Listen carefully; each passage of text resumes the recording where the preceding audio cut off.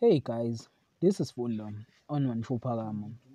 Tonight on Skeem Saam, Managa blows a gasket when Alfred gets in his way. It seems like Alfred wants to remove Managa on the position of acting as a principal. He called Mr. DeSando to make it clear for Marian Managa. And it seems like the things got differ when principal leave a Turf High. After Pex and his friend wearing uh, shoes that that that does not belong on the school, and his his friend changed their head.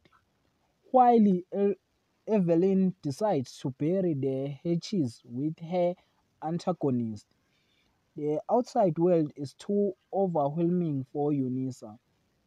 Unisa wants to face her past, while Clement and Oritan plan their next trip, and this time it is out of Limpopo. That is for tonight. Thanks for watching. Don't forget to like and comment and subscribe. Therefore, thanks.